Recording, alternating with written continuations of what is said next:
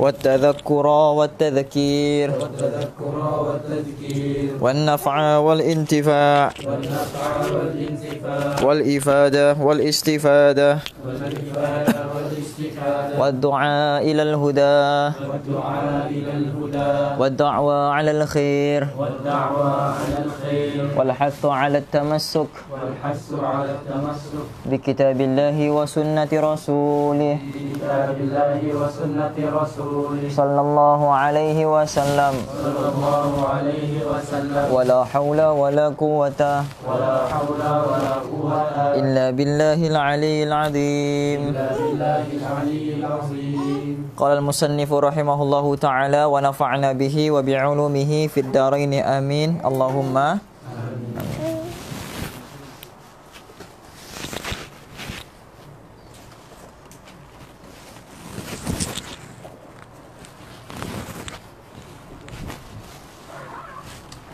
Yang ketujuh Mendoakan celaka bagi orang lain dan semestinya doa celaka sahaja Doa yang ba- yang tidak baik pun termasuk. Mendoakan sesuatu yang tidak baik Bagi orang orang lain. Ini perkara yang diharamkan. Maka hendaklah engkau memelihara lidahmu Daripada mendoakan celaka terhadap se sesiapa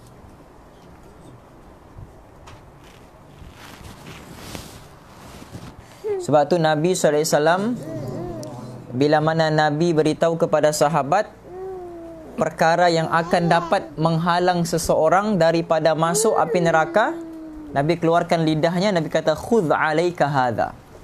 Jagalah benda ini betul Betul-betul lisan. Dia kata Khudh alaika hadha. Jagalah benda ini betul-betul Kerana benda ini akan mampu untuk menjerumuskan kamu masuk ke dalam neraka jadi memelihara lidah daripada mendoakan celaka terhadap sesiapa sahaja daripada makhluk Allah ini. Makhluk Allah ni umum. Binatang pun makhluk Allah, manusia pun makhluk Allah, jin pun makhluknya Allah. Hatta mendoakan celaka bagi jin pun hukumnya haram. Faham? Sebab dia termasuk di dalam makhluknya Allah. Dan jikalau ada seseorang menzalimi engkau, menzalimi ni makna apa? Mem- berbuat jahat dengan engkau berbuat sesuatu yang tidak layak sepatutnya dibuat oleh seorang hamba kepada hamba yang lain. Okey? Maka serahkan urusannya kepada Allah. Bila kita serahkan sesuatu misalnya orang buat jahat dengan kita. Okey? Kita pun buat jahat dengan dengan orang. Kita balas kejahatannya dengan kejahatan. Kejahatan yang kita buat dengan dia tu mungkin tidak sama dengan kejahatan yang dia buat dengan kita. Tapi kalau kita serahkan urusannya kepada Allah, mungkin Allah akan balas lebih teruk lagi daripada apa yang kita balas dengan dia. Faham tak? Maksudnya kesan ataupun keburukan kejahatannya, kalau kita balas balik, mungkin kesannya kurang pada dia. Tapi kalau kita sudah serahkan kepada Allah, maksudnya biarlah Allah yang membalasnya, mungkin kesan keburukannya pada dia tu lebih besar daripada kesan yang kalau kita buat buruk kembali pada dia. Faham? Sebab itu, apa sahaja perkara yang orang buat zalim kepada kita, serahkan pada Allah. Maka Allah akan bagi dua keputusan. Yang pertama, Allah akan terima taubatnya. Yang kedua, Allah akan azab dia. Itu saja. Dua ni saja. Faham? Nah, tidak akanlah, tidak akan lari daripada dua ni. Sama ada Allah menerima taubatnya, mengampunkan dia, ataupun Allah subhanahu wa ta'ala mengazab dirinya. Bas. Faham? Sel selesai. Cukup sampai situ kerana ada disebutkan di dalam sebuah hadis Nabi sallallahu alaihi wasallam innal mazluma la yad'u 'ala zalimihi hatta yukafi'ahu thumma yakunu lizalimi fadlun 'indahu yutalibuhu yaumal qiyamah. Dia kata apa? Sesungguhnya orang yang terkena zalim itu mendoakan celaka ke atas orang yang menzaliminya sehingga suatu kecelakaan yang dibalakkan ke atas orang yang zalim itu melebihi daripada balasan yang patut di, diterimanya. Sebab apa? Dia serahkan kepada Allah. Maka orang yang pada mulanya zalim tadi telah menjadikan zalim pula. Lalu ia menuntut hak pada hari kiamat nan, nanti. Jadi kalau kita dizalimi, cukup angkat tangan, selesai. Faham? Sebab Nabi kata, Ittaqu da'watal mazlum. Fa in, uh, apa? Fa innahu uh, apa? Uh, la bainahu wa bainaha hijabun. La bainahu wa bainallah hijabun. Nabi kata ittaqu da'watal madhlum takutilah kamu terhadap doa-doa orang yang dizolimi. Faham? Takutilah kamu terhadap doa-doa orang yang dizolimi. Kerana apa? La bainahu wa bainallah hijabun. Kerana doanya tidak ada hijab antara dia dengan Allah. Maknanya doa orang zalim ni akan di dimakbulkan faham ni akan dimakbulkan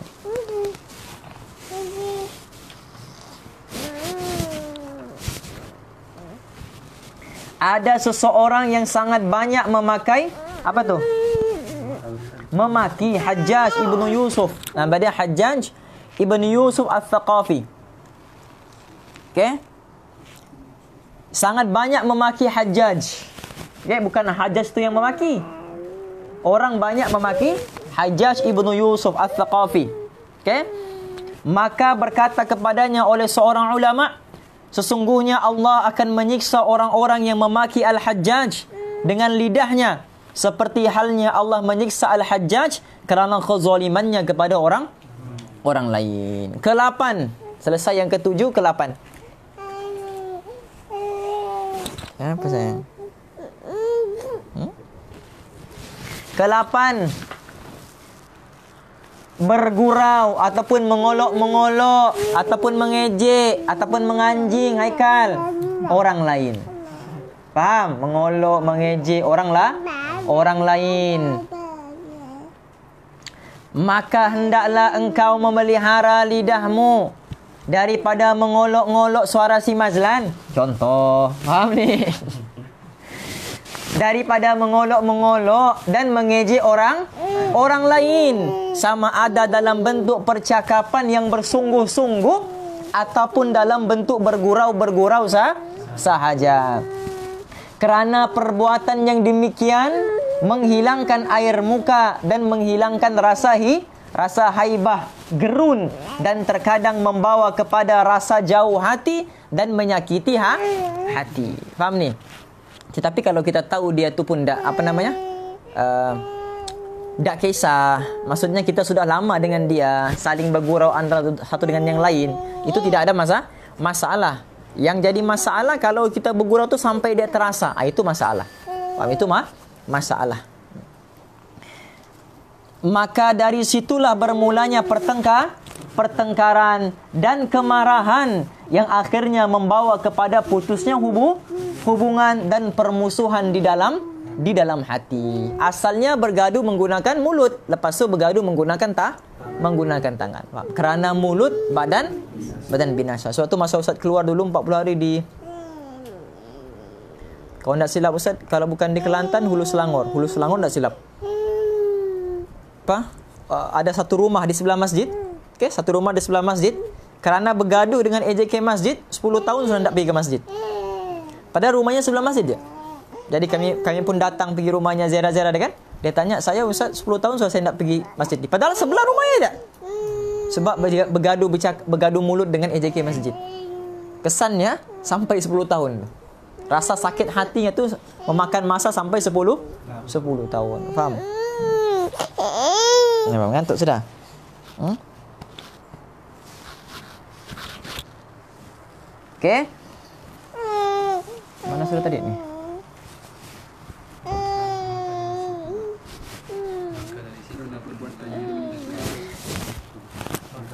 Maka janganlah Maka janganlah engkau bergurau dengan seseorang Bahkan jikalau mereka cuba mengusik engkau Maka jangan pula engkau pedu Engkau peduli Dan berpalinglah daripada mereka Sehingga mereka bercakap perkataan yang lain Dan hendaklah engkau menjadikan dirimu Daripada golongan orang yang disebutkan oleh Allah Ta'ala dalam firmannya Wa idha marru bil lagwi marru kiraman.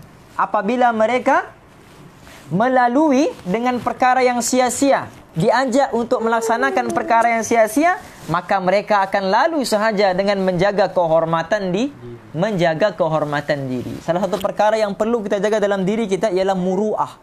Maruah kita. Muruah. Okey? Maruah diri faham mas? Okey? Inilah lapan perkara yang merupakan penyakit lidah yang besar. Besar.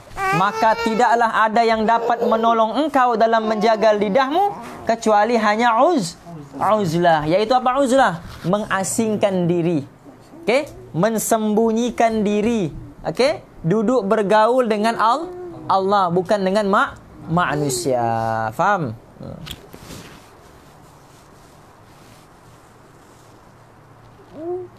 Dan melazimkan diam kecuali bergaul dan bercakap-cakap sekadar keperluan sahaja. Sebab tu Nabi kata apa? Sayyidul akhlaq, penghulu kepada akhlak as-samtu, diam. Faham? Penghulu kepada akhlak ialah di diam. Nah, mana naik dah? Mau naik kah? Ha? Mau naik sudah? Ih, comot. Iya. Okey. Sayyidul akhlaq as-samt. Penghulu kepada akhlak itu adalah di adalah diam. Bahkan Nabi kata man samata naja. Siapa yang banyak diam, dia akan banyak terselamat. Mukhalafat daripada makna hadis ini apa? Siapa yang banyak bercakap, maka dia tidak akan se selamat. Tapi siapa yang banyak bercakap apa, apa? Banyak diam, dia akan selamat.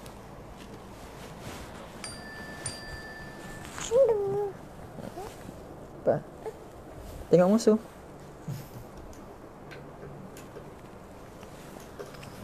Faham? Okey. Dan adalah Abu Bakar Siddiq radhiyallahu anhu selalu meletakkan batu di dalam mu, mulutnya. Tengok ini orang yang Nabi sudah janjikan syurga. Faham? Yang Nabi gelarkan dia ni sebagai apa? Sebagai As-Siddiq. Min, buat ni, Min. Okey, okey, okey. Nanti turun. Okey? Bye. Bagi salam. Assalamualaikum. Ya.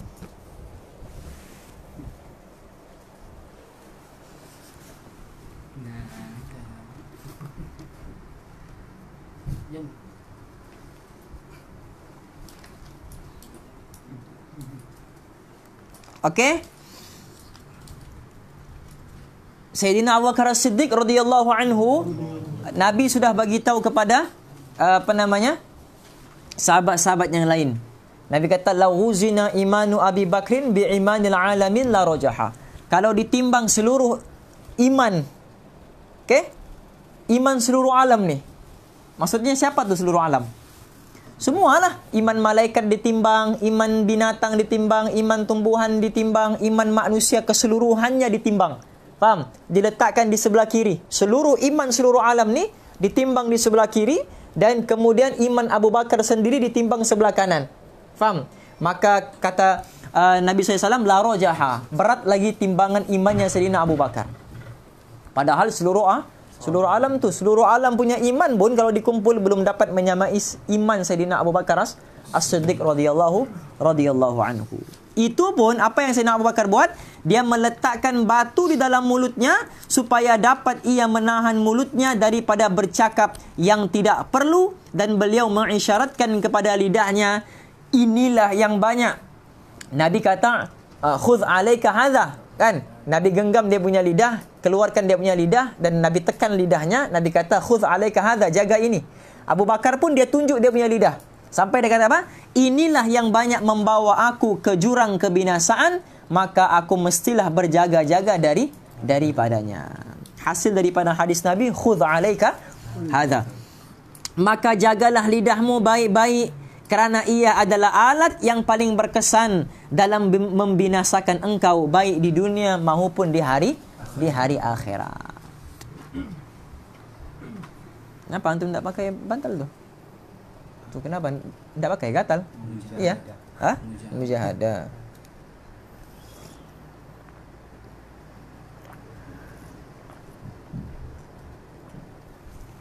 Alhamdulillah. Okey. Ah, yang keempat menjaga pe perut Imran.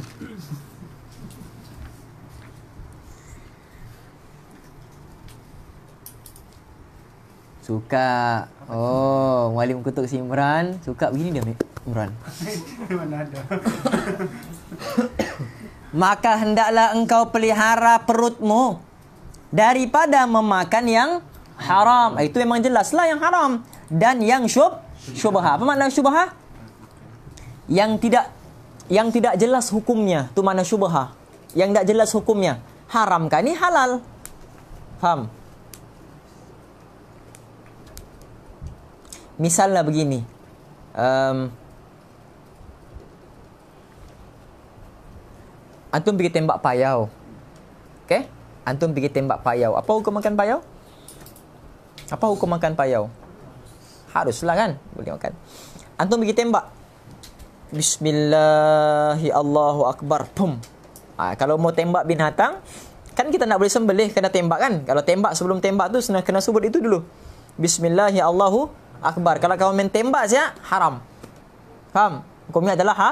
haram. Dia mesti ah, sama ada tembak ataupun panah. Faham? Panah ke apa-apalah benda yang tajam. Pitik. Faham? Antum tak ada anu, tak ada senapang pakai pitik. Batu lima ni. Kampung apa? Kampung Suluk. Di atas tu. Pitik. Okay? Bismillahirrahmanirrahim. Allahu Akbar. Pup. Jadi, kena dia punya leher. Faham? Dia pun kena, dia pun lari. Lari, lari, lari. Tiba-tiba satu lubang. Payau tu pun jatuh ke dalam lubang tu. Antum tengok, mati. Dia mati sebab terkena kamu punya peluru kah? Atau mati sebab terjatuh? Kita pun tak tahu. Faham? Sama ada di, dia mati kerana terkena peluru. Adakah dia mati sebelum terjatuh ke dalam jurang? Ataupun dia mati selepas uh, apa? Uh, selepas jatuh ke dalam jurang? Tak tahu kan? Ha, jadi bila mana tak tahu tu hukumnya adalah syubha. Elakkan daripada makan. Suatu Nabi kata apa? Innal halala bayyinun wa innal harama bayyinun wa bay wa baina umuru mushtabihatun. Yang jelas, yang halal tu jelas, yang haram adalah je jelas. Di antara kedua-duanya di tengah-tengah ada satu hukum yang banyak manusia tidak ketahui. Itulah dia syub syubha. Hmm. Famanit uh, famanit apa? Barang siapa yang uh, yang menjaga dirinya daripada perkara yang syubha, dia telah menjaga maruah diri dan agamanya. Dia telah pelihara maruah diri dan dan agamanya. Tapi siapa yang tidak menjaga yang syubha, dia telah menjerumuskan diri dan agamanya ke dalam perkara yang yang haram. Jadi jangan makan benda yang syubha. Yang yang tak jelas hukumnya. Syubha ni uh, ni lah lebih kurang sama dengan makruh lah, benda yang makruh. Faham ni?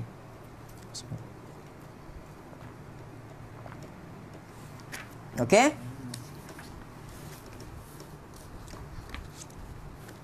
Maknanya tiga benda tu antum kena elakkan makan. Apakah dia? Yang haram, yang makruh, yang syubhah. Tiga benda ni. Jadi makan yang harus dan yang ha halal saja. Tak cukup dengan halal. Tayyiba. Halalan tayyiba yang baik. Banyak yang halal tapi yang yang halal pun banyak yang merosakkan merosakkan kesihatan. Misal antum makan gula banyak-banyak. Faham ni? Ah ha, itu pun hukumnya adalah benda yang halal boleh jadi haram, benda yang haram boleh jadi halal. Misal dadah, dadah kan haram, tapi kalau ditujuan untuk apa? perubatan maka hukumnya jadi halal. Faham? Gam kan halal gam tu. Faham? Bikin bikin letak anu, bikin letak apa? Ah, gam kasut dan sebagainya. Faham? Melekatkan sesuatu. Tapi antum guna dengan cara yang berbeza, antum pergi hisap, hukumnya adalah ha? haram. Faham?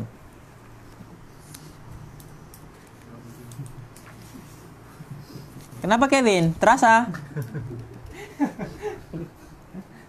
Tak mengantuk sudah Kevin?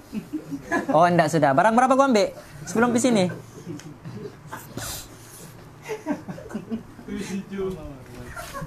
Jo, kau punya bab ni menjaga perut, dengar.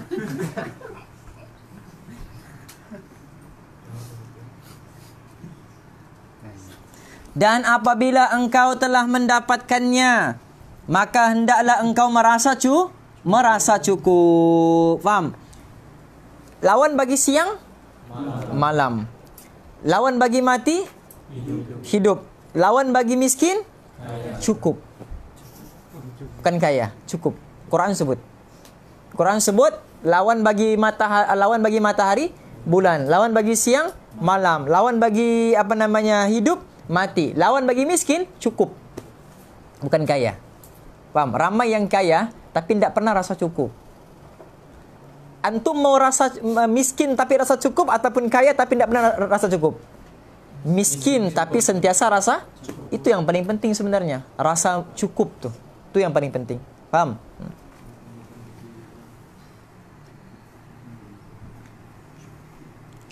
dengan makanannya. Okey, sentiasa merasa cukup dengan ma makanannya dan hendaklah engkau berhenti sebelum ke sebelum kenyang kerana perut yang kenyang itu mengeraskan hati dan menumpulkan ah, akal. Antum try lah time kenyang antum pergi menghafal. Antum pergi menghafal time waktu perut kenyang. Susah mau masuk tu hafalan. Jadi macam mana caranya? Antum buang dulu makanan di dalam perut tu, pergi tandas. Faham? Sudah rasa lapar, sudah, sudah kosong perut, baru meng, menghafal. Itu sebenarnya kunci kejayaan bagi seorang penghafal. Menghafal dalam keadaan perut yang kosong, itu lebih utama. Okey? Itu lebih utama. Dan memberatkan anggota daripada berbuat ibadah, ibadat dan mencari ilmu. Bahkan perut yang kenyang itu akan menguatkan syahwah. Baik, akan menguatkan syahwat. Itu dalam hadis itu kan disebut apa? Man kathura ta'amuhu kathura lahmuhu wa man kathura lahmuhu kathurat syahwatuhu wa man kathurat syahwatuhu kathurat dhunubuhu wa man kathurat dhunubuhu fannaru awla bihi. Kata apa? Barang siapa yang banyak makannya, man kathura ta'amuhu. Okey? Barang siapa yang banyak makannya, kathura lahmuhu, banyaklah dagingnya. Apa mana banyak daging? Ah, gemuk. Faham? bid'ah yang pertama Sayyidina Umar bagi tahu. Faham? Kena kata Aikal, ala anu, jo, Aikal. kan? Apa? Ah, ada satu orang lelaki datang, faham? Berdiri, berdiri di depan Kaabah sambil dia, dia tunjuk perutnya yang besar. Dia kata, "Ni'mah," dia kata, "Ni'mat, ni'mat." Hadza min fadli rabbina. Ini ini daripada dari, uh, kelebihan daripada Tuhanku. Sayyidina Umar datang. Lah dia kata, ini bukan nikmat, ini azab dia kata. Azab, azab. Ini bid'ah yang pertama selepas kewafatan Nabi. Bid'ah. Faham? Sebab zaman-zaman Nabi dulu semuanya sado-sado. Tak ada yang perut yang besar ke depan. Faham? Sayyidina Umar kata, bid'ah, bid'ah. Inilah bid'ah. Faham ni? Hmm. Ya, nampak nanti antum pergi masuk masjid, antum memang tunggu di depan masjid. Faham? Bid'ah satu, bid'ah dua, bid'ah eh, kafir. Wah, terlalu besar tadi kak? Kafir. Jelas ha? Okey? Siapa yang banyak makannya banyak pula? Apa don? Ah, siapa yang banyak makannya banyak pula dagingnya. Wa man kathura lahmuhu kathura syahwatuhu. Siapa yang banyak dagingnya banyak pula syahwatnya. Besar pula syahwatnya. Apa tu syahwat? Nafsu lah. Faham? Besar pula dia punya dia punya nafsu. Wa man kathurat syahwatuhu kathurat dhunubuhu. Siapa yang besar dia punya nafsu, besar juga dia punya dosa. Banyak nafsunya, banyak juga dia punya dosa. Wa man kathurat dhunubuhu fannaru aulabi. Siapa yang banyak dosanya, neraka lebih layak untuknya. Jadi kenapa dia masuk neraka? Bermula daripada makanannya. Faham? Hmm. Wah Imran. Oh, makan nanti dia jangan habis tu. Faham Imran?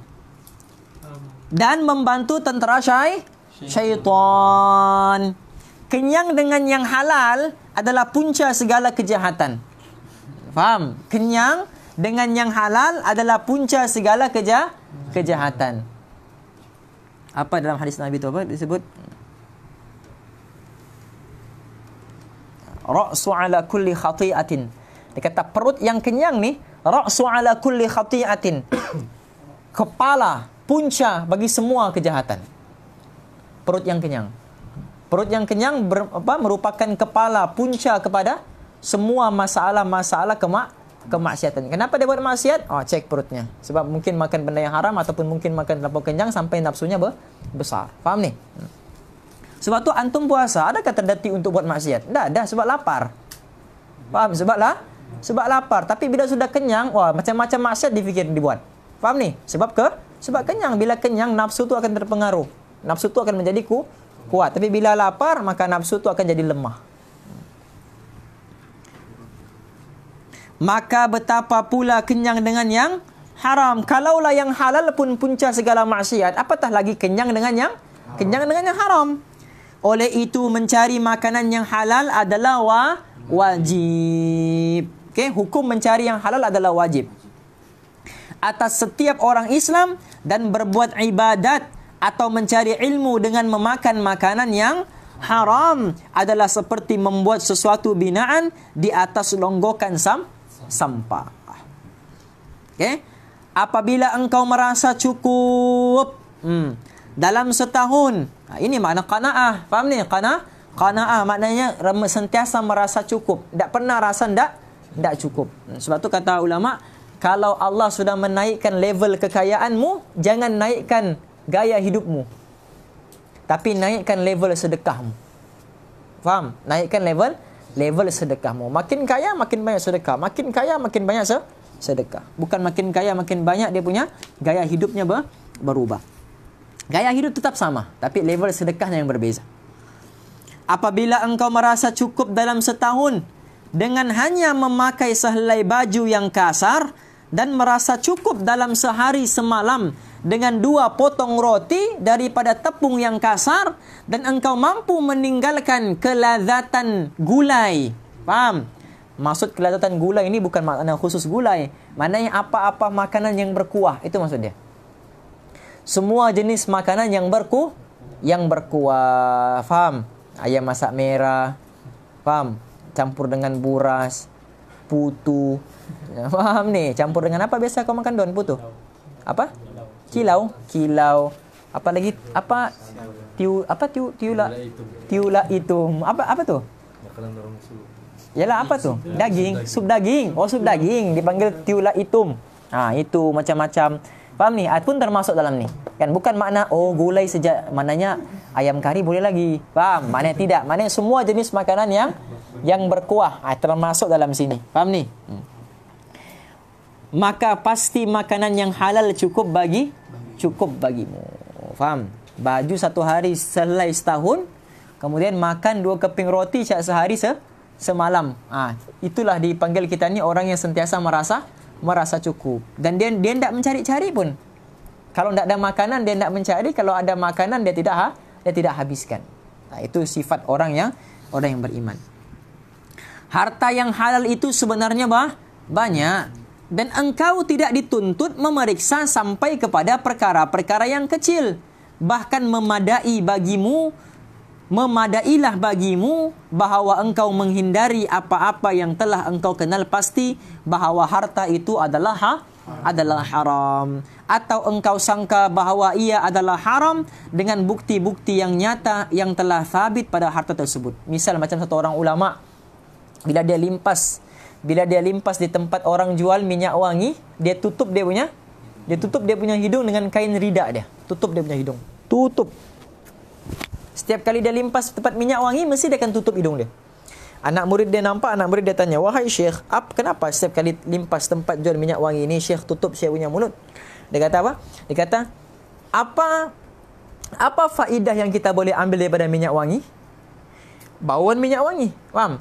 Faedah minyak wangi. Kita beli minyak wangi sebab apa? Sebab mau dapat dia punya dia punya bau. Faham ni? Jadi yang dijual ni yang belum dimiliki oleh sesiapa.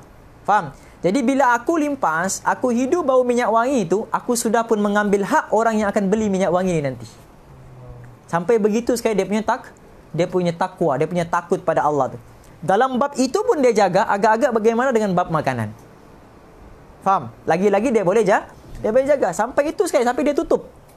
Nah, ini makna takwa ni. Dia takut dipersoalkan di hari akhirat. Faham ni? Sebab belum orang beli dia sudah ambil hak tu. Kita siap bang tes bang tes tes bang. Wow. Orang tak bagi pun siap bang. Siap hulur-hulur tangan lagi. Untuk apa? Untuk tes. Orang tak suruh pun kita pergi ambil lagi. Testingnya bang. Wah bang. Siap siap spray di di badan lagi. Faham ni? Ha. Kita tak ada rasa tak. Buka tempat minyak wangi tu hidup lagi.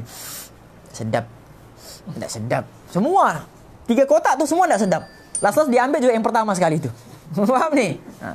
Tapi ulama tu dia lalu pun dia tu dia tutup. Faham? Itu takwa. Faham? Itu tak takwa. Benda tu tak akan dapat keluar melainkan daripada orang-orang yang bersih hatinya. Yang bersih ha? Bersih hatinya. Kenapa terasa rezeki? Okey? Adapun harta yang sudah nyata haram, maka hal ini sudah tidak perlu diterangkanlah. Memang sebab sudah jelas ha? haram apa mau terangkan lagi. Okey? dan harta yang disangkakan haramnya dengan beberapa tanda maka ialah seumpama harta raja-raja yang zo yang zalim dan pegawainya pegawai-pegawainya dan harta orang-orang yang tidak ada pekerjaan kecuali hanya meratap orang mati atau menjual arak atau bermuamalah dengan cara riba atau berjual be, beli seruling dan alat-alat muzik dan seumpamanya maka sesiapa yang engkau telah ketahui secara pasti bahawa kebaikan hartanya adalah daripada sumber yang haram maka apa yang engkau ambil daripada tangannya walaupun boleh jadi ia halal adalah ha, haram maksudnya punca utama tu faham kalau punca utamanya tu haram, walaupun dijual dalam bentuk yang halal, tetap hukumnya adalah ha? haram. Faham ni? Hmm. Misalnya, Haikal. Okay? Dia sembelih babi. Sembelih babi, Bismillahi Allahu Akbar. Babi tu pun Allahu Akbar. Allahu Akbar. Faham? Apa hukum makan babi tu? Tapi babi tu ucap Allahu Akbar tu. Si Haikal pun Bismillahi Allahu Akbar lagi. Faham? Bismillahi Allahu Akbar. Babi tu pun ucap Allahu Allahu Akbar. Apa hukum makan babi tu? Tetap juga ha? haram. Walaupun sembelihannya halal, cara sembelihnya halal, tapi binatang yang disembelih tu hukumnya adalah ha? Haram. Faham ni? Jadi cara tidak menghalalkan yang ha? yang haram. Faham ni? Cara yang baik, cara yang betul, cara yang halal tetap tidak akan menghalalkan yang haram. yang haram. Kerana itulah yang galib pada zon, pada sang sangkaan. Di antara harta yang jelas haram ialah harta wakaf. Hmm, nampak? Sebab tu harta wakaf, antum keluar 40 hari, Muaz. Faham ni? Kalau sudah nama harta wakaf, jangan guna cas handphone di masjid. Haram. Faham? Keluar 40 hari, bawa charger. Bawa gosok baju lagi. Faham? Gosok baju di, atas lantai masjid orang, lepas tu becop setrika di situ. Mana orang masjid nak marah?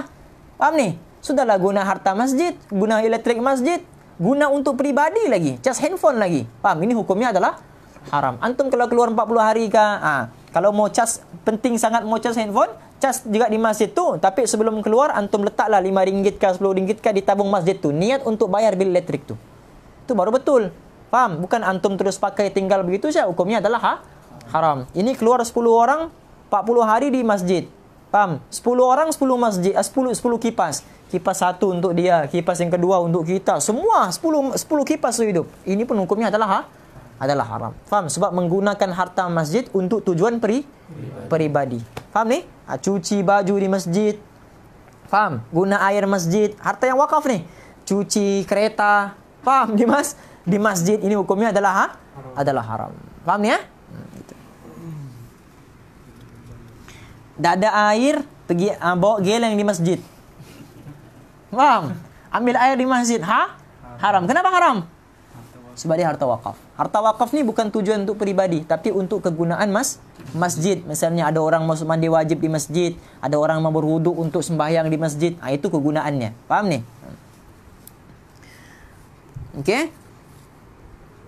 Tidak mengi uh, wakaf yang dimakan tidak mengikut syah syaratnya. Faham? Misal ada orang bagi dia uh, duit 200 untuk sumbangan bagi fakir miskin misal. Okey? Orang tu bagi 200. Jadi orang ni pun dia belilah 150 ringgit barangan makanan. 50 ringgit lagi dia isi minyaknya untuk kegunaan dia menghantar barang makanan tu. Apa hukumnya? Ha? apa hukumnya? Dia guna 50 ringgit untuk guna apa? Untuk isi minyak untuk kegunaan dia punya ulang alik tu. Faham ni? untuk antar makanan pergi sini, pergi Batu Payung, pergi Seri Indah, pergi mana-mana tempat daripada duit sumbangan orang tadi. Apa hukumnya? Harus. Haram. Ha? Haram. Haram. Tak tahu, muka macam haram. Jo. Ha? Syubha. Imran? Haram. Muaz? Haram. Kiwa? Ha? Ustaz haram. Haram. Suhaimi? Tak tahu. Ah, Kevin, Mufti? Wah, harus lah Mufti.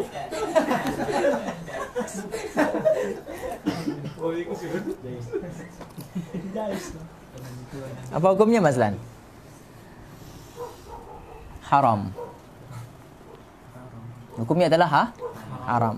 Kecuali kalau orang tu ada niat, ada sebut sirah, ada lafazkan. Ustaz, ini duit 200 ni, Ustaz bagi sumbangan untuk orang ramai.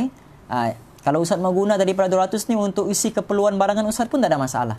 Itu baru betul. Tapi kalau orang tu tak cakap apa-apa, langsung tak cakap apa-apa. Dia cakap begini saja, 200 ni Ustaz untuk sumbangan. Itu saja. Tak ada dia cakap untuk untuk keperluan Ustaz kayak isi minyak ke apa. Hukumnya adalah haram. Faham ni? Jelas? Ha, okay. Jadi jangan antum memandai-mandai apa? Uh, harus. Faham ni? Mazlan, Kevin. Okey? Hmm. Jelas tak ni Kevin? Ana? Mazlan. Okey? Hukumnya adalah ha? haram. Tidak boleh. Ya, macam Ustaz hari tu, ada ada orang bagi 1,500 untuk sumbangan. Dia kata, Ustaz, 1,500 ni, 1,000 ni Ustaz guna untuk sumbangan. Tapi 500 ni Ustaz ambil untuk untuk keperluan Ustaz. Keperluan dakwah Ustaz. Faham? Tapi Ustaz tak ambil lah 500 tu, faham? Ustaz ambil 1000 tu. Mandalah, faham? Ustaz ambil Ustaz, Ustaz ambil 500 tu, Ustaz letak juga di tempat yang 1000 tu. Maknanya Ustaz tak payah ambil apa? Berapa apa? Setakat duit minyak tu berapa saja tu kita boleh isi sen? sendiri. Jadi 500 tu kalau beli barang berapa banyak kita boleh bagi dengan orang kan? Jadi tak payah guna untuk diri sendiri. Bagi dengan orang. Allah akan bagi yang lebih lebih baik.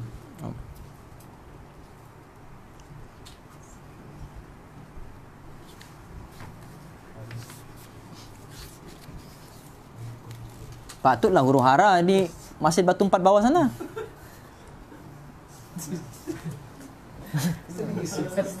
Bukan si Kevin. Patutlah huru hara masjid sana. Mufti dia ni. Si Kevin. Kau dua kali lima juga oh.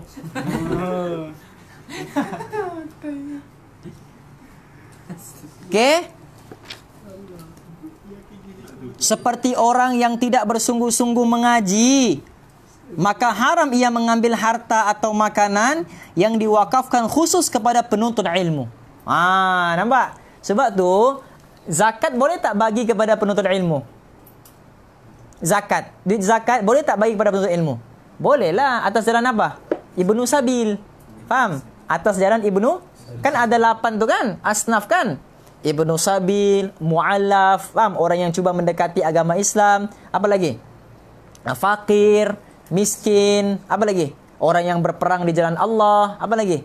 Ada lapan tu. Apa? Orang yang musafir, apa lagi?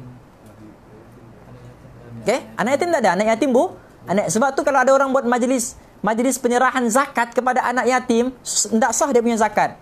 Sebab anak yatim ni tidak layak diberikan zakat kecuali kalau anak yatim yang miskin baru boleh.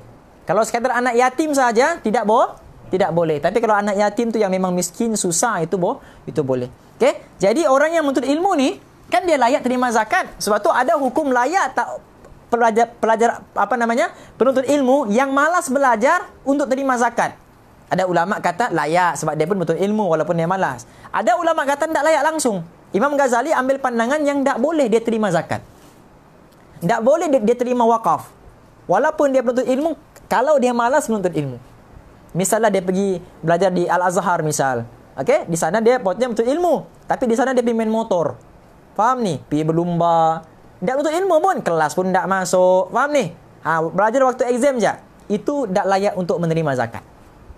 Walaupun penuntut ilmu atas jalan Ibnu Sabil layak menerima zakat. Faham ni? Ha, itu, itu dibincangkan oleh ulama ya. Yang diwakafkan khusus kepada penuntut yang ada dalam sebuah mad madrasah dan sesiapa yang mengerjakan maksiat maka akan ditolak segala persaksi persaksiannya ataupun syahadahnya alhamdulillah.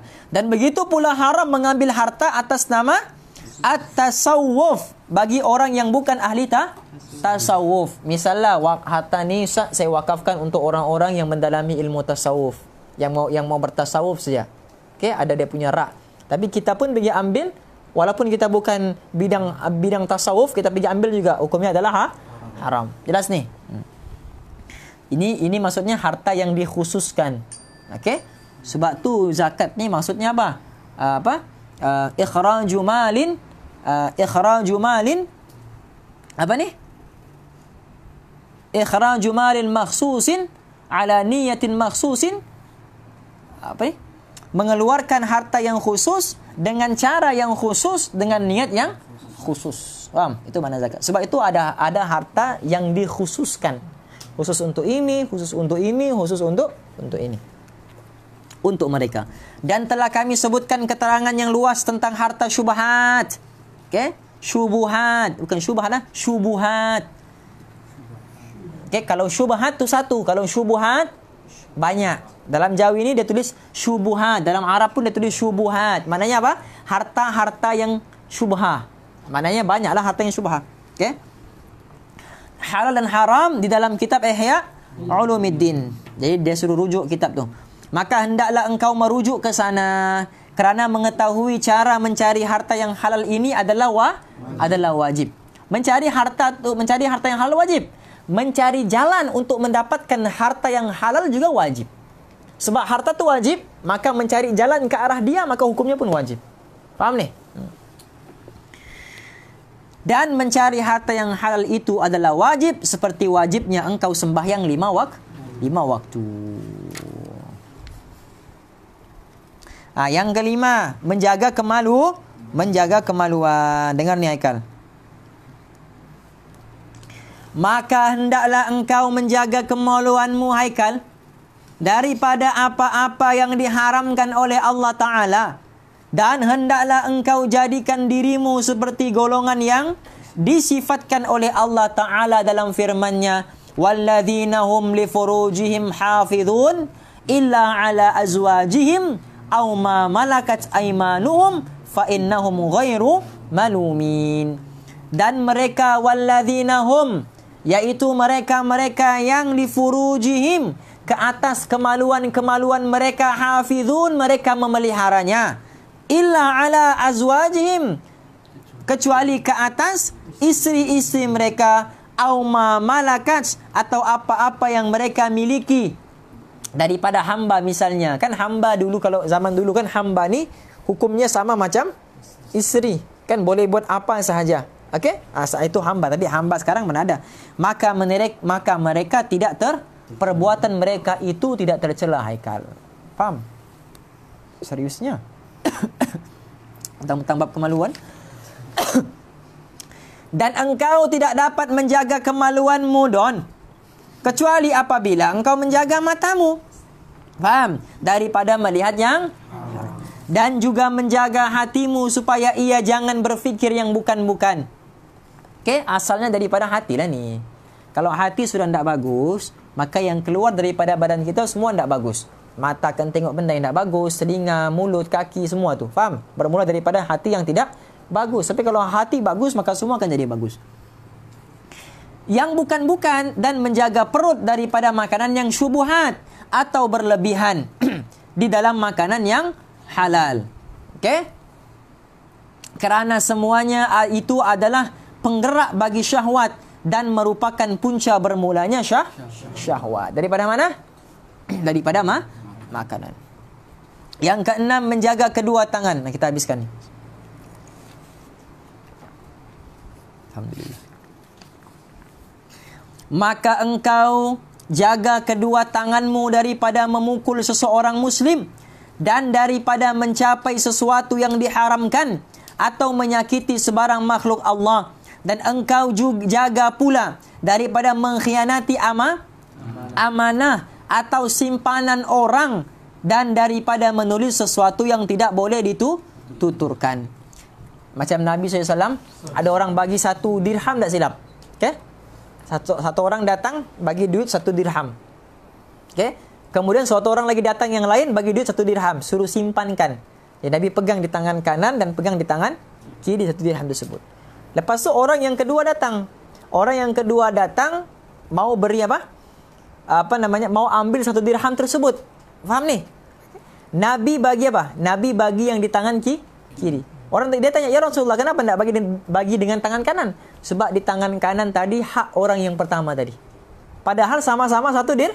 Salah salahkah kalau Nabi bagi satu dirham yang ini, yang ini pula satu dirham? Salah atau tidak? Tidak salah sebab sama nilainya. Tapi itu pun Nabi jaga. Maknanya ini ini ini datang duluan letak di tangan kanan, maka ini hak dia. Yang ini pula datang kemudian ada di tangan kiri, ah ini hak dia. Itu pun Nabi tidak mu mungkiri hak orang lain, amanah orang lain. Faham ni? Kita tidak. Kita orang bagi duit sumbangan 300 misalnya, waktu tu pun kebetulan kita kita tak ada duit, kita pun pergi isi minyak 50 daripada 300 tu. Kan? Dapat nanti gaji bayar balik. Pun hukumnya haram. Faham? Hukumnya adalah ha? haram juga. Walaupun niat untuk bayar balik tapi hukumnya adalah ha? haram. Sebab apa? Sebab itu hak orang untuk beri kepada fakir, fakir miskin. Faham ni? Walaupun ada ulama kata harus tapi antum belajar tasawuf ni memang majoriti ulama-ulama tasawuf mengatakan hukumnya adalah ha? haram. Supaya apa? Berhati-hati supaya kita tidak buat benda tu berkali-kali lagi. Jelas? Kerana tulisan adalah salah satu di antara dua lidahmu. Okey? Maka hendaklah engkau jagakan ka jagakan kalammu. Tulisanmu daripada menulis sesuatu yang diharamkan untuk memperkatakannya. Wallahu alam. Hmm. Ta'limul muta'alim Sembilan sudah kan Gal musannifu rahimahullahu ta'ala Wa nafa'na bihi wa bi'ulumihi Fid daraini. Amin. Allahumma Amin. Ya Yallah Yallah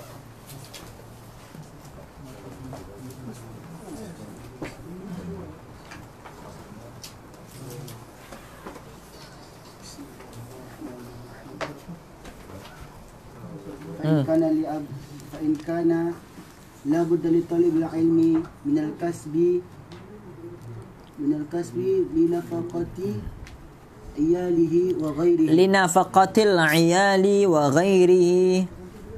لنفقة عياله وغيره. فليكتسب.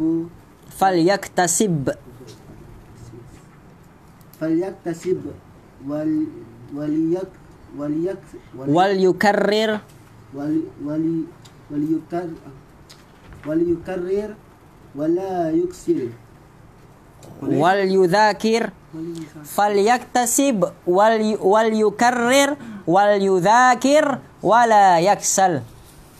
Dikata apa? Apabila penuntut ilmu harus juga bekerja untuk menafkahi keluarganya dan tanggungannya. Faham? Dia belajar tapi dia pun pada masa yang sama kena beker, bekerja untuk cari nafkah kepada iyal. Faham? Kepada keluarganya wa ghairi ataupun selain daripada keluarganya. Maknanya dia punya tang dia punya tanggungan. Maka silalah bekerja, tapi jangan lupa untuk dia belajar dan bermuzakah bermuzakarah yang paling penting jangan mah jangan malas daripada mengulang kaji pelajaran. Faham?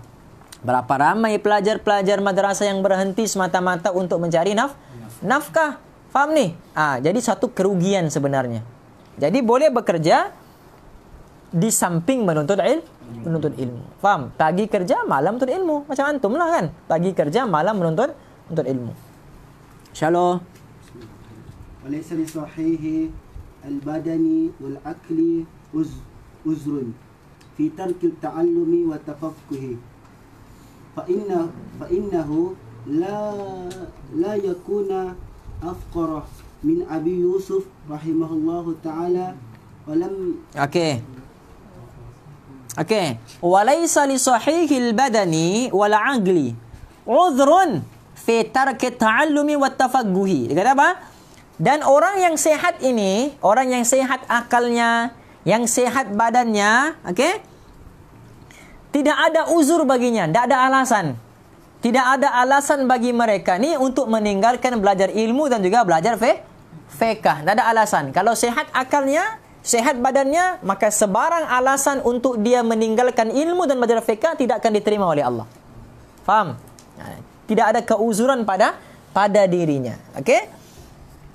Fa innahu la yakunu afdara min Abi Yusuf. Kerana tidak ada orang yang lebih nampak. Itu apa tu? Isim tasghir tu. Afkar. Faham ni? Fakir tu kan miskin. Afkar ni tersangat mis miskin. Okey? Maknanya yang pangkat yang lebih rendah, pangkat yang lebih rendah, afgar. Min Abi Yusuf. Abi Yusuf ni orang yang tersangat miskin lah ni. Tetapi apa? Walam yamna'u dhalika min tafaqquh. Tetapi walaupun Abu Yusuf tu afkar, miskin daripada yang miskin, lebih fakir daripada yang fakir, tidak menghalangnya untuk menuntut il, ilmu dan juga belajar fiqh. Faman kana lahu malun kathirun, fa ni'mal malu salihu lirrajuli salih. Kata apa? Barang siapa yang dianugerahi banyak harta, faman kana lahu malun kathirun. Siapa yang dianugerahi oleh Allah dengan banyaknya harta, maka alangkah indahnya harta yang soleh kepada orang yang soleh juga. Faham? Kenapa dia bercerita bab harta? Sebab untuk mendapatkan harta, dia per, untuk mendapatkan ilmu, dia perlu kepada bulughah. Iaitu har, harta. Sebab tu dia masuk bab harta ni. Okay? Okay, shalom. Kila li'alimi. Li'alimin. Kila li'alimin bima bima adrakta al ilma qala bi abi ghatiyin bi abin ghaniyin. Bi abin ghaniyin. Dikata ditanyakan kepada seorang yang alim. Gila li alimin. Ditanyakan kepada satu orang yang alim. Orang alim itu ditanya bima adrakta al ilma dengan cara apa? Engkau mendapatkan ilmu? Dikata bi abin ghaniyin. Dengan bapakku yang kaya. Faham? Dengan bapaknya yang kaya Maksudnya bapaknya tu membiayai dia bela dia belajar. Insyaallah. Li'annahu kana yas yas apa ni? Yastani'u. Yastani'u bihi ahlal ilmi wal fadli. Kerana juga dia bagi tahu dengan kekayaan bapak saya juga beliau dapat berkhidmat. Beliau dapat berbakti kepada ahli ilmu dan juga keutamaan-keutamaan il, ilmu. Mungkin bapak dia dengar misal lah misal antum apa antum keluar 40 hari. Okey, antum keluar 40 hari, lepas tu antum dakwah dengan satu orang tu. Okey, satu orang pak cik lah misalnya. Okey, pak cik tu pun insaf, taubat dengar ceramah antum. Faham? Yang ada lagu-lagu yang di di belakangnya tu backgroundnya kita ini. Faham? Pak cik tu pun insaf. Lepas tu pak cik tu ada anak. Anak tu pula dia, dia hantar pergi belajar belajar agama sebab sudah insaf, sudah taubat. Jadi dia sudah dengar kelebihan-kelebihan ilmu ni, maka dia pun hantar anaknya belajar belajar agama. Anaknya pun belajar agama, jadi satu orang alim yang besar, belajar Bukhari, belajar Muslim, belajar kita-kita hadis, kan? Lepas tu apa namanya? Orang yang dakwah tu meninggal. Antum lah, antum pun meninggal misal, okey? Bila antum sudah kembali ke padang mahsyar, Allah tunjukkan kamu punya pahala. Tiba-tiba ada ada pahala hafal Quran. Tiba-tiba ada pahala belajar Sahih Bukhari. Tiba-tiba ada pahala belajar Sahih Muslim. Kita tanya, "Ya Allah, apa semua ni?" Faham? Aku tidak pernah pun menghafal Quran. Baca iyalah tapi menghafal tidak ber pernah. Kitab-kitab yang ini pun aku tidak pernah dengar. Apa ni Sahih Bukhari, Sahih? Langsung tidak pernah ada dengar. Dari mana aku dapat pahala semua ni? Allah kata, Tidakkah kamu ingat bahawa dulu kamu pernah berdakwah kepada seorang lelaki? Kemudian lelaki itu menyediakan anaknya pula untuk belajar agama. Seluruh pahalanya itu kami berikan kepada engkau. Faham ni? Ha, hasil daripada apa? Ini dipanggil saham yang mengah, saham yang mengalir. Jelas ni. Hmm. Okey? Dia dapat jadi bapaknya ni kaya, maka bapaknya ni pun berbakti kepada siapa? Berbakti kepada ilmu dan juga ahli ilmu dan juga ahli ilmu. Faham? Sebab sebab bapaknya tahu kelebihan kalau dia infakkan harta kepada orang alim begini, kelebihan kalau dia infakkan begini begini dan sebab sebagainya. Sebab itu menginfakkan harta ni siap kepada siapa yang paling afdal?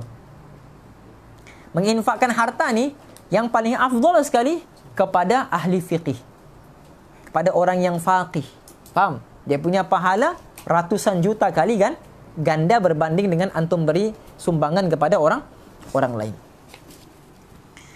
Fa innahu Fa innahu sababun ziyadatil ilmi. Li'annahu syakara ala syukrun.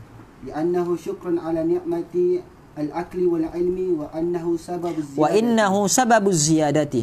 Wa, wa innahu sababu ziyadati. Disebabkan bapaknya tu kaya dan khidmat pula kepada ahli ilmu dan juga kelebihan-kelebihan ilmu, maka dengan sebab itu ziyadatil ilmi maka akan bertambahlah ilmu anaknya li'annahu syukrun ala ni'matil agli wal ilmi kerana bapaknya mensyukuri nikmat ilmu dan juga nikmat ah nikmat akal. Okey? Wa innahu sababu ziyadati maka bertambahlah ilmu bapaknya dan juga ilmu anaknya dengan anugerah-anugerah yang yang lain. Faham ni? Sebab tu Ustaz bagi tahu apa? Tiga perkara kan yang boleh men- melonjakkan seseorang itu hebat di dalam suatu bidang. Kan? Kita pernah belajar ni, tiga perkara. Apa dia? Pelajar yang bersungguh-sungguh, guru yang bersungguh-sungguh mengajar, orang tua yang bersungguh-sungguh mau anaknya belah. Tiga perkara ni. Maka anak tu akan menjadi orang yang he, orang yang hebat. Ada support daripada ibu bapa, ada support daripada guru, daripada guru. Pelajar ni dia ibarat satu ekor burung. Pelajar dia ibarat satu ekor satu ekor burung. Sebelah kanan dia ni guru dia. Sayap sebelah kanan ni guru dia. Sayap sebelah kiri ni dorongan daripada ibu ba, bapa. Kalau dua-dua ni dapat dikibaskan, burung ni akan pergi lebih jauh dan pergi lebih tinggi, lebih tinggi. Tapi kalau sebelah siap support, sebelah tidak ada, maka akan cacat dia punya dia punya apa? Dia punya terbangnya tu. Penerbangannya akan ca akan cacat. Sebab apa? Tak ada support. Sama ada kanan ataupun kiri. Tapi kalau ada dua-dua, dia akan burung ni akan terbang melonjak dengan lebih. Itulah perumpamaan guru yang mendorong dengan ibu bapa yang mendo yang mendorong. Faham? Shalom. Qila qala Abu Hanifah rahimahullahu taala inna ma adraktu al-ilma bilhamdil bilhamdillahi taala wa syukri. Wa kullama fahimtu wa wawafiqtu wawafiqtu wawafiqtu wawaf ah wawafiqtu betul. Wawafiqtu wawafiqtu ala fikhi wa hikmati fikhin wa hikmatin. Fikhin wa hikmatin. Fakultu alhamdulillah ta'ala fa'aza fazdada ilmi. Ah nampak ni? Ini pun salah satu cara macam mana mau dapatkan ilmu? Dengan cara bersyukur. Okey? Dengan dengan cara ber ah, maksukul. Ha?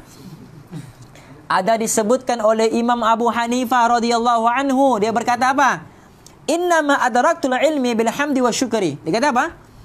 Setiap kali aku mendapatkan ilmu, aku akan berhamdalah. Apa dia? Mengucapkan alhamdulillah, alhamdulillah dan dia pun ber, bersyukur. Maka ditambahkan lagi ilmunya. Hanya dengan syukur tu saja. Dan setiap kali aku diberi taufik, okay? Wa wufiqtu fa fa kullama fahimtu wa wukiftu ala fiqhin wa hikmatin qultu alhamdulillah taala.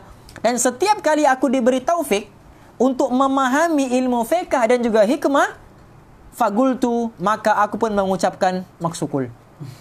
Maksudnya alhamdulillah ta alhamdulillah taala. Faz fazdada ilmi maka bertambahlah aku punya il ilmu. Assalamualaikum Ustaz. Tengah mengajar. Ah, Okey okey Ustaz. Okey, Assalamualaikum. Salam tu. Wahakadha. Hmm, shalom. Okey, jadi bila dia bersyukur alhamdulillah taala fasdada ilmi, maka ilmunya pun akan ber akan bertambah. Shalom. وهكذا ينبغي لطالب العلم أن يستغل بالشكر باللسان والجنان Wal jinani والجنان والأركان والمال ويرى الفهم tawfiqa min Allah taala. Okey, wa وهكذا maka demikianlah. Yang bagi li talibul ilmi sangat-sangat dianjurkan ditekankan kepada penuntut ilmu itu ayash tagila okay ayash ayash tagila okay hendaklah dia menjadi gila. Wah, bukan. Ayash tagila hendaklah dia itu sentiasa bersungguh-sungguh untuk apa? Bisyukri, bersyukur. Okey, nampak? Beza orang yang bersyukur dengan bersungguh-sungguh bersyukur tu beza. Okey? Bil lisani sama ada syukur dengan lisan, wal jinani sama ada syukur dengan hati, wal arkani sama ada bersyukur dengan perbuatan-perbuatannya, wal mali bersyukur juga dengan har hartanya, wa yaral fahma wal ilma dan dia menyadari bahawa kefahaman ilmu itu semua wat taufiqa minallahi taala. Okey, ilmu, kefahaman ilmu, taufik semuanya datang daripada Allah. Allah Subhanahu wa taala. Maka bila bersyukur dengan pemilik ilmu, maka Allah akan berikan lagi dia punya il ilmu. Sebab ilmu dan kefahaman ilmu ada orang diberi ilmu tapi tidak diberi kefahaman il ilmu. Faham? Jadi dia kena bersyukur supaya Allah bagi tiga-tiga sekali.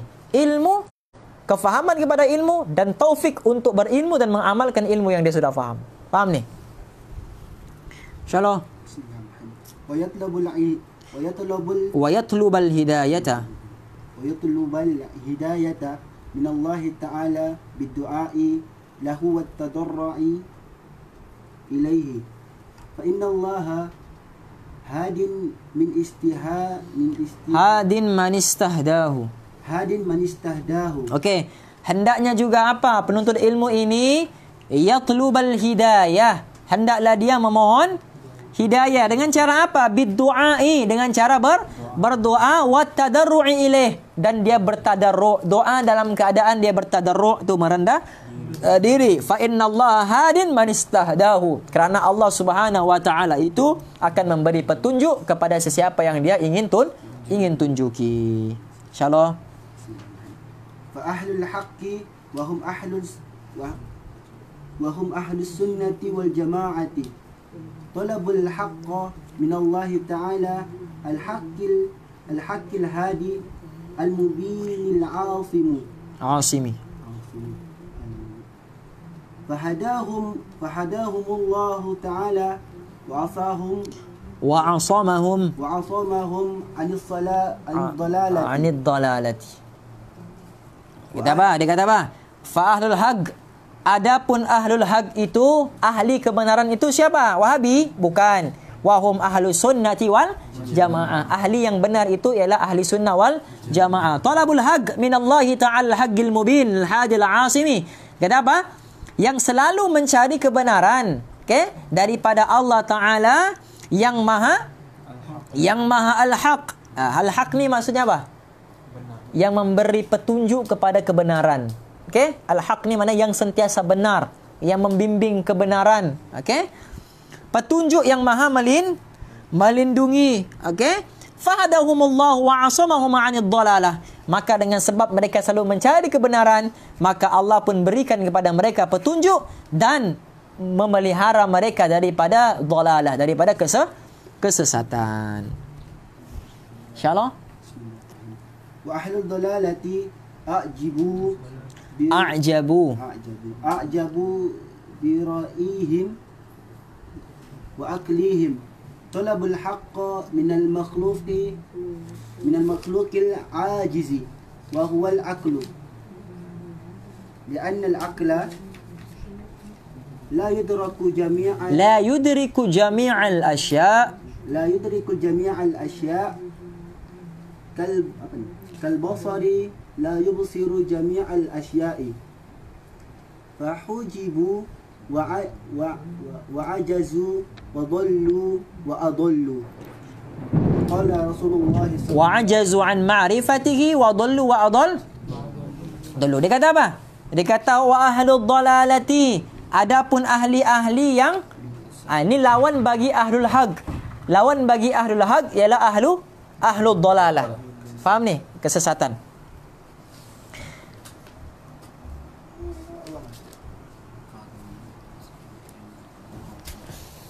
Assalamualaikum.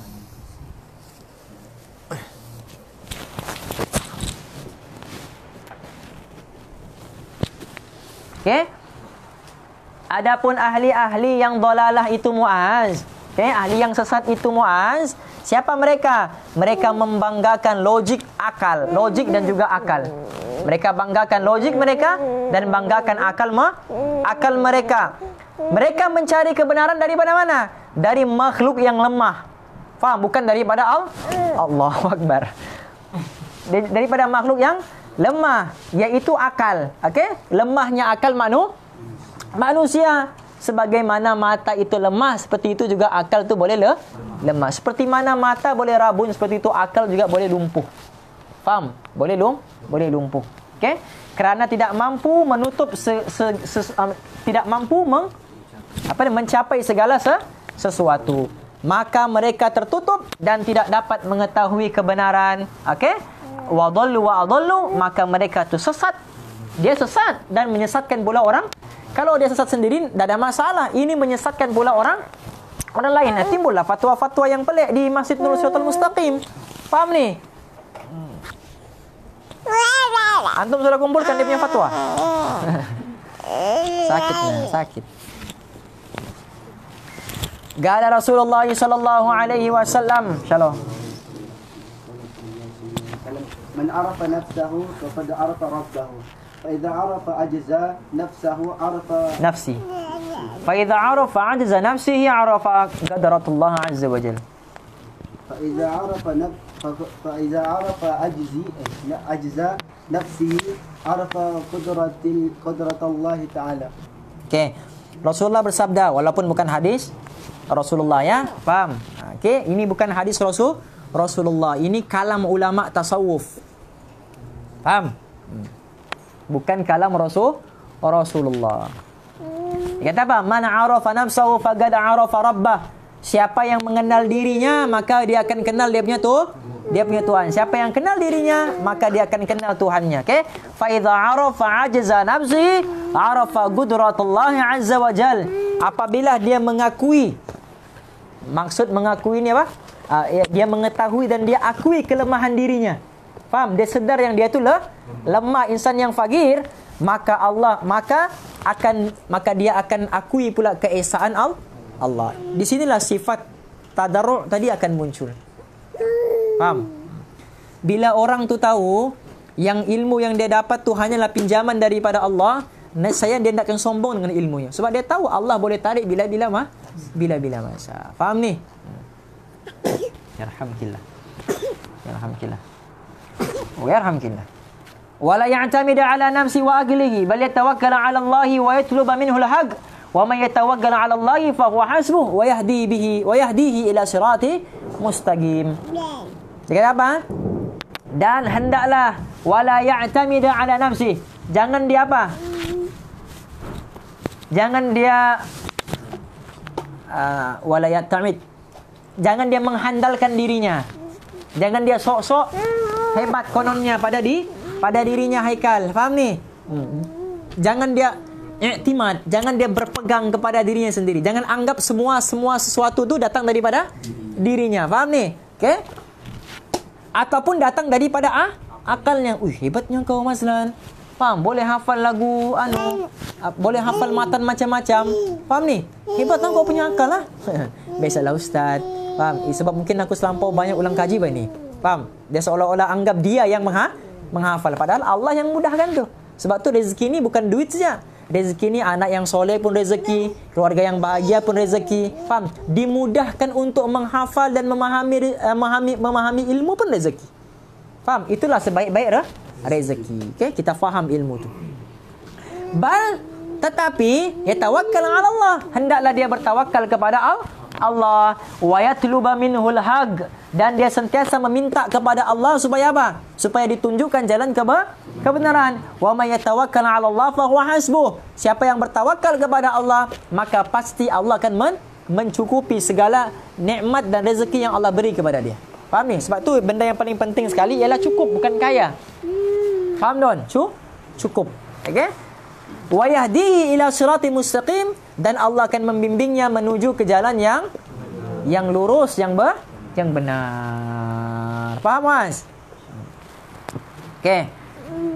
Wa man kana lahu malun fala yabkhal. Siapa yang ada harta pada dirinya, maka janganlah dia bakhil. Janganlah dia kedekut. Wa yang bagi ayata'awadza billahi minal bukhli dan hendaklah dia sentiasa memohon perlindungan kepada Allah daripada sifat ba bakhil. Galan Nabi sallallahu alaihi wasallam. Nabi berkata, "Ayud da'in adwa minal bukhli?" Nabi kata, "Adakah penyakit yang lebih teruk sakitnya daripada bakhil?" Faham? Ha, ini dipanggil harfun istifham. Okey? Pertanyaan daripada daripada Nabi dipanggil istifham ingkari harfun istifham ingkari. Nabi bertanya untuk di untuk apa? Untuk tiada siapa dapat ingkari. Itu maksud dia. Istifham ingkari. Faham? Maksudnya apa?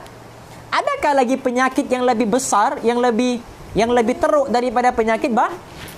penyakit bakhil. Maksudnya apa? Tak ada sudah penyakit yang lebih teruk sakitnya daripada penyakit bakhil. Itu maksud harfum istifham ingka ingkari.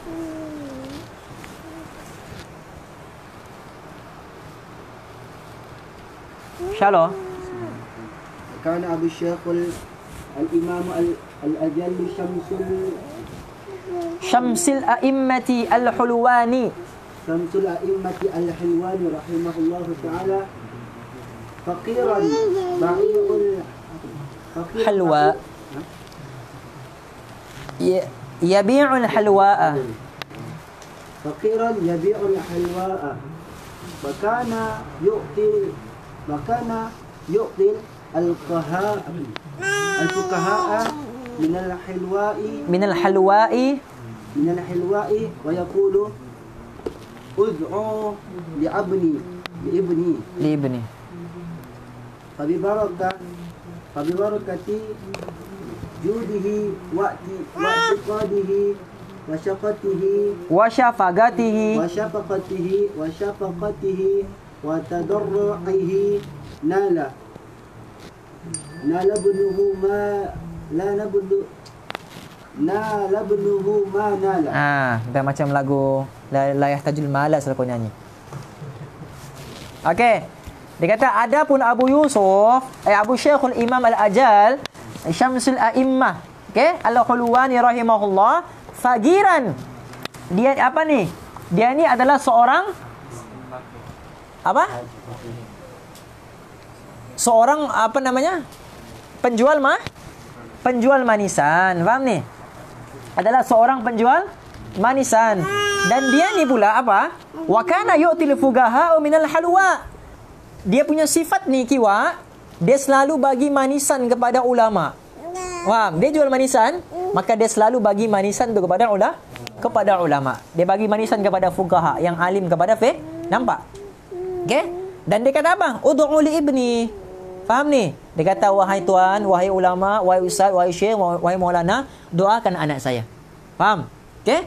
Fa- maka dengan sebab itu, maka ulama pun mendoakan, mendoakan dia punya anak dengan sebab dia punya sifat khidmatnya, faham? Sifat sungguh-sungguhnya mau anaknya ber, apa? Mau anaknya berjaya, maka anaknya pun menjadi seorang ulama yang besar juga. Faham ni? Sebab daripada ma manisannya. Faham ni? So itu kita pun buatlah macam begitu. Faham ni? Antum jumpa ulama-ulama di luar sana. Tak semestinya antum bagi manisan. Maksud manisan ni ialah apa? Hadis sesuatu yang baik. Kan? Manisan ni kan manis. Sesuatu yang ba simbol kepada sesuatu yang baik. Okey? Jadi tak kisahlah antum bagi manisan ke apa. Antum bagi hadiah dengan niat supaya macam ulama ni dia bagi manisan dengan niat supaya apa? Supaya anaknya menjadi menjadi seorang yang manis akhlaknya, manis ilmunya, manis adabnya dan sebagainya. Mafhum? Okey? Bil mali kutubi wa yustaktiba fayaguna Dianjurkan juga apa kepada penuntut ilmu ni agar duit untuk dibelikan apa? Kitab. Faham ni? Duit yang kita ada, maka belilah ki belilah kitab. Okey? Dan mengupah penuh penulis. Kalau dia nak tahu menulis, dia upah. Oh, dia upah orang pula. Dia tak tahu menulis tapi pandai membaca lah misal ataupun dia tak ada sudah tangannya mau menulis. Faham ni? Okey? Maka dia pun upah orang untuk tuliskan ilmu yang ustaz ajarkan kepada dia. Ah itu tujuan duit sebenarnya. Faham ni? Okey? Supaya dia mudah untuk belajar ilmu dan juga fiqh. Fiqh. Wallahu taala a'lam bi muradihi.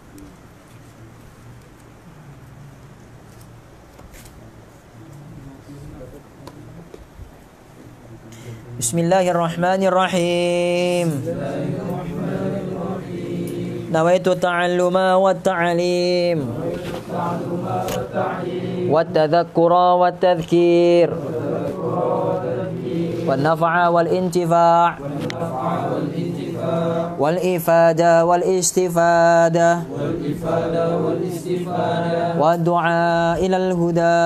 والدعاء إلى الهدى. والدعوة على الخير. والدعوة على الخير. والحث على التمسك.